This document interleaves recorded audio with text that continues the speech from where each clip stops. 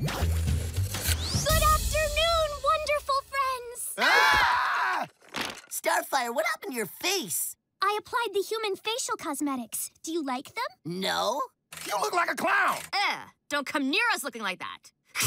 But uh, are we not the friends? Of course we are, but only when you look good. I was not aware the looks were so important. They're everything.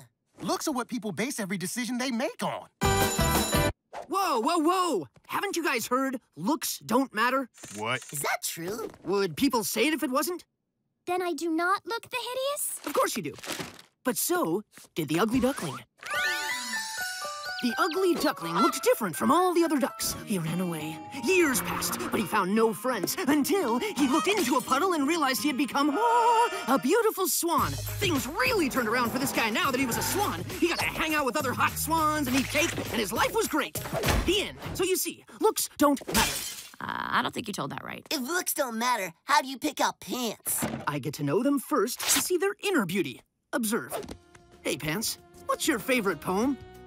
Oh, I don't know. I like the one about taking the dirt road with weeds. I like that poem too. Your pants have good taste. See? It's what's on the inside that matters.